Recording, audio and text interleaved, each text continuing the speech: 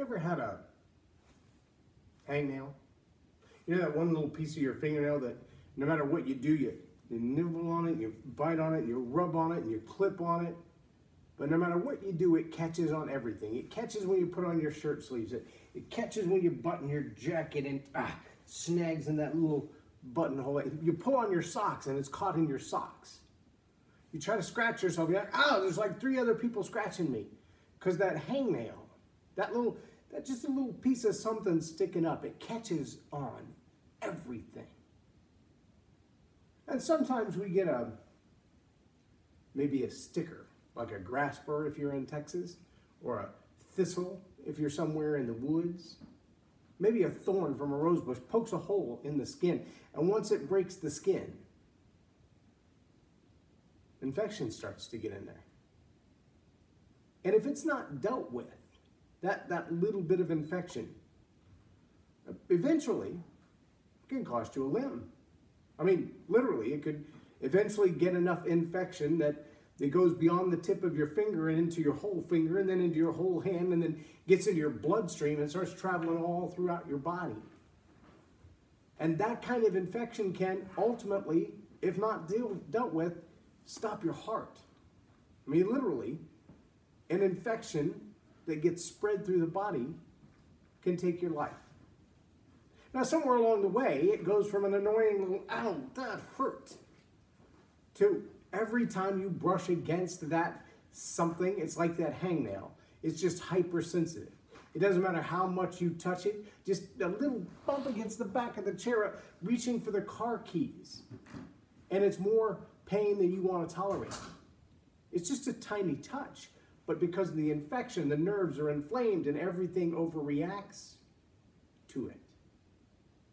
But again, if, if you don't deal with that little infection, if you don't get that out of there, if you don't extract the annoyance and prevent the spread of infection, the problem just gets worse and worse and worse and worse. And then it gets in the blood.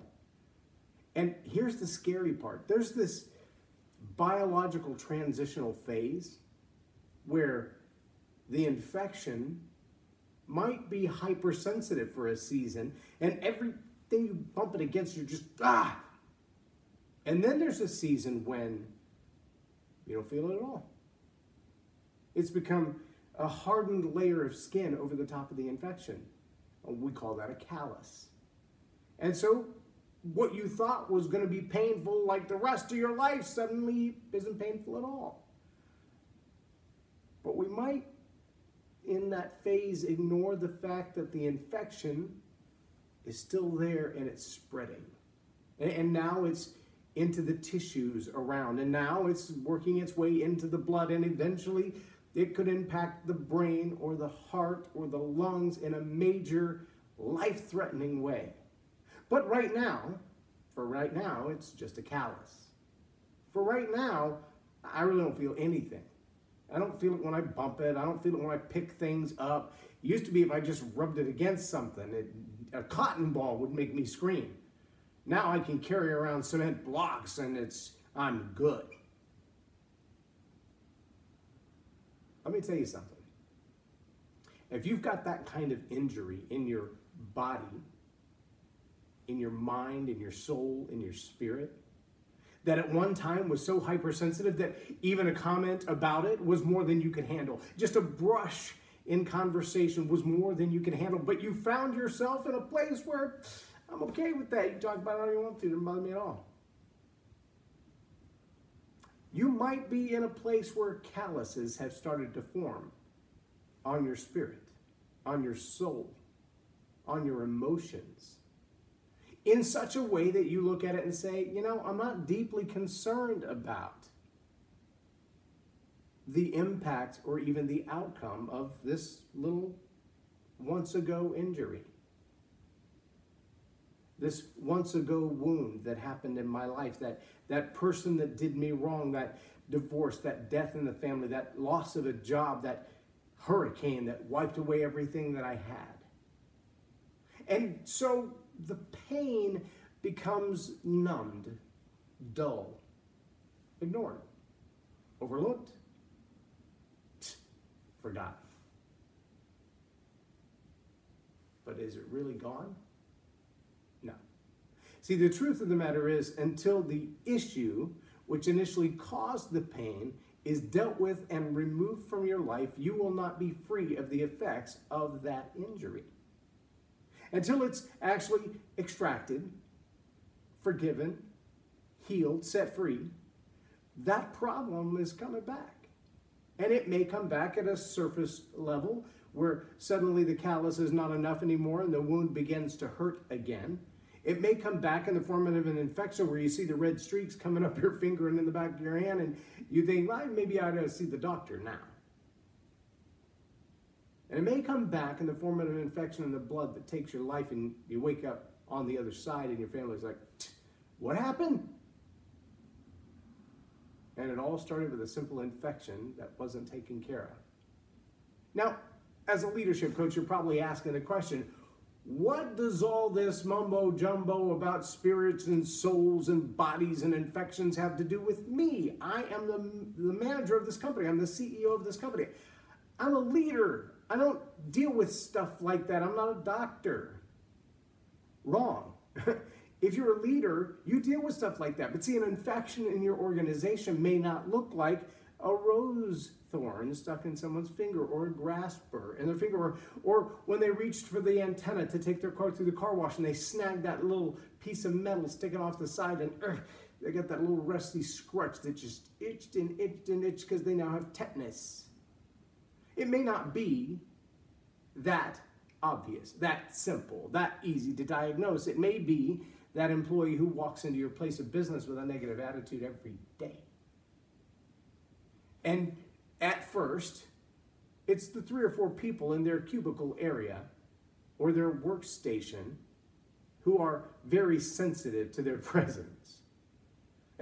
After a while, they may even become callous to their presence.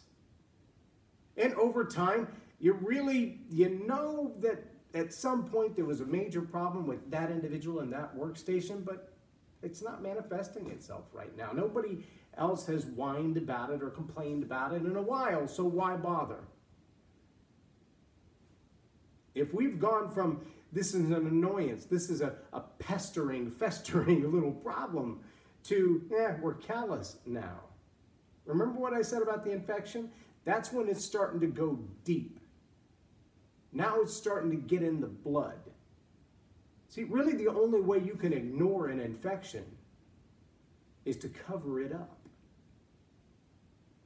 You hide the red streaks, you hide the red tissue, you hide the pain, you numb the pain with Tylenol or Advil or anesthetics of some other nature like alcohol, drugs, illicit relationships. And so this person that you hired to manage this small team came in like a thunderstorm and blew everything up. And then all the dust settled, and now the calluses have come in, and people are like, you know, I really don't like them, but the boss says they're staying, well, they're staying. And now they're callous to that kind of conversation. They're callous to those negative comments. They're callous to the way that they don't really, that manager doesn't even really have respect for their boss's boss's boss's boss. They kind of see themselves as a miniature king of the world. And they're going to do whatever they want to do. And, and if they get found out, they'll blame it on somebody else. They'll, they'll lie on you so they don't get in trouble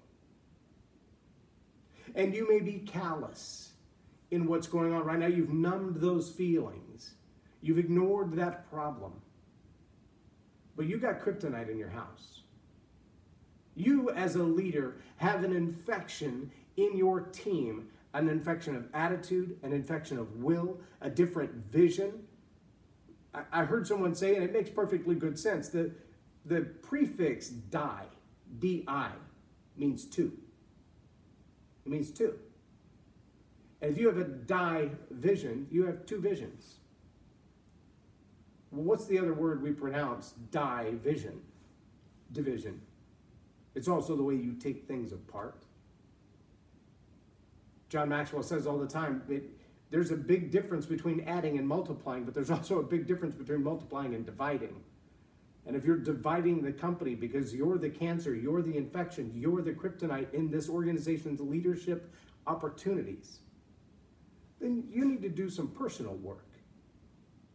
But if you're the manager, if you're the leader, if you're the oversight, and you see a team that has a problem that's constantly growing and then suddenly stops, hmm, why did all of a sudden that big gigantic problem that caused so much pain and strife and stress last week, why did it go away? Why is it that, that it's no longer a problem? Did they solve that? If they did, I'd like to know how they solved it so perhaps we could solve that problem in other places. But if they've simply buried it, oh, it's not done. Attitudes not dealt with are like duff fires. You've probably never heard of a duff fire, unless you live in Colorado, where they're disastrously well known. See, in places like Colorado and Oregon and, and other mountainside areas, what happens is a fire will sweep through, and sometimes it's a gigantic fire, sometimes it's a small fire. And as the fire sweeps through, it will burn everything on the surface, but it's moving really fast because of the wind. And because of the wind, what we see, the wall of flames, the giant smoke as it passes through, kind of scorches the earth, but it also leaves enough heat that, say, a fallen tree becomes a coal. Now, I know if you've ever had a fireplace in your home or played around a campfire as a kid, you've seen when the fire went out. But there was that one log that was red hot for hours. I mean, hours. That big hardwood log, you could see the little squares of chunks as the moisture is evaporated out of it and it becomes charcoal. And those coals are red hot, and you can feel the warmth from feet away. It's still holding on to its heat. It's festering. It's festering. And, what happens in a duff fire is, is that log still holds its heat on the inside, but the winds come along and bury it with other tree limbs and logs. And maybe the winter snow will come down and, and sit on top. And over what could be, look this up, what could be hundreds of years, these old smoldering logs get buried and buried and buried and buried, and they're still trapping their heat. They just ran out of oxygen because you know they got buried, but they're still trapping their heat. And then a lightning strike or a strong windstorm blows through or a strong snowstorm and it starts to scrape off the surface of what's sitting on top. And suddenly, this old hot log that's been under the surface for so long catches a breath of fresh air. And what happens? when you're in front of the fireplace and you have that billowing tool? What happens when you're at the campfire and you blow onto that red hot log? Suddenly it's all aflame again. The infection that's covered in a callus, the infection that's covered in a callus, the attitude of that person in your organization that's covered in calluses, where everyone has just ignored it to, to get by. They don't want to deal with this person. They really don't want to confront them or have an argument with them, for heaven's sake. So they just kind of grit their teeth and let it go. That kind of relationship isn't healthy. And like the infection that's sitting beneath the callus but working its way into your bloodstream, like the duff fire that may sit there silent, unknown for up to a hundred years. Suddenly, something pierces the surface. Suddenly, something breaks through, and that conversation we thought was over is alive again. The argument that we thought we'd settled is fresh and new. The anger, the frustration, and everything that goes along with it, back into a flame. And what was a fire 100 years ago that burned 20 or 30 acres has had a whole lot of time under the surface to spread. And a duff fire will do that too. It will begin to burn in concentric circles around itself miles hundreds of miles of underground fire, burning, smoldering, just waiting, just waiting for oxygen. Well, what do you think happens when that first piece gets air? It begins to burn off the surface. And now not only does it have the heat from below and the oxygen from above, but it has a whole lot of fuel laying on top of it, just waiting to burn. Those are the other people on your team. They are. Those are the people who've all along said, I don't want to have anything to do with this. I'm out of this argument. It's not my problem. But now, like matchsticks, they're being consumed, bought up into this problem. Like the infection as it spreads, like the duff fire as it spreads, so will that attitude spread through your organization until the very best of your players are gone. Oh, it happens in the classroom too. Happens in the family as well. Happens in the church. Happens in your small group. Happens in your office. Happens in politics. Anywhere there are humans who can harbor bitterness, anywhere there are relationships that can become contentious, anywhere that attitude exists, which is, well, anywhere there are humans, there lies the potential of having an under the surface, an underground, or within the bloodstream, out of sight problem that can take over and destroy everything. Kryptonite makes you weak. Infection makes you weak. It draws on the natural resources of your body. The white blood cells go out and fight like little soldiers until they can't fight anymore and then they just give up and the bloodstream becomes contaminated and then the heart becomes contaminated or the brain becomes contaminated and what looks like alzheimer's could set in what looks like heart disease could set in sudden heart attacks strokes from an infection now there are ways to deal with that if you've got an infection in your hand or your foot your finger your toes the eyes the ear and your nose Go see your doctor. Get them to remove whatever the offending object is and start some antibiotics and run the course and get that stuff out of your bloodstream before it kills you. But if you're the manager, if you're the leader, if you're the family leader, the small group leader, the church leader, and you've got that kind of infection in your organization, you're the doctor. You need to find that offending substance, person, team, vision? Oh, yeah. Sometimes a new vision causes the same kind of problem and it smolders like a duff fire and nobody likes the vision and nobody believes in the vision and nobody wants to have anything to do with the vision, but the boss brought it up, so we have to do it. But if you're the boss, if you're the manager, if you're the leader of this organization, you have authority and responsibility to deal with that issue.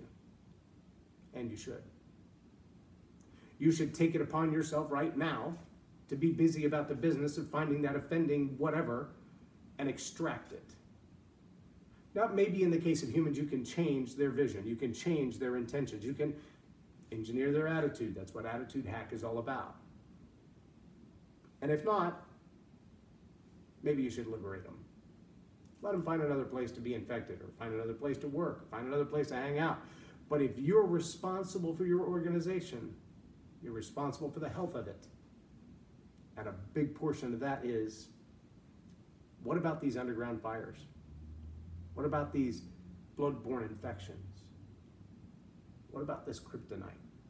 How does it kill and weaken our organization? And how do we get rid of it? You don't have the answer to that, you probably need a leadership coach. I'll be glad to help or point you to someone who can anytime, night or day. Send me a private message on Facebook, send me a text message, send me an email. All of my digits are out there. Go to jlorennorris.com. There's actually a form you can fill out and it'll send it in an email right away. I would love to help see you get rid of the kryptonite, get rid of the infections, the attitudes, the bad players that are destroying the weak, destroying the strength and weakening your organization. Now, if you need a doctor, I can recommend a couple of those as well, but I am not one and I don't play one on TV or even on YouTube. I appreciate you watching today. I appreciate the time that you've spent with me and allowing me to spend that time with you. I'm J. Loren Norris, and you've been watching Tell It Like It Is TV. Have a blessed day.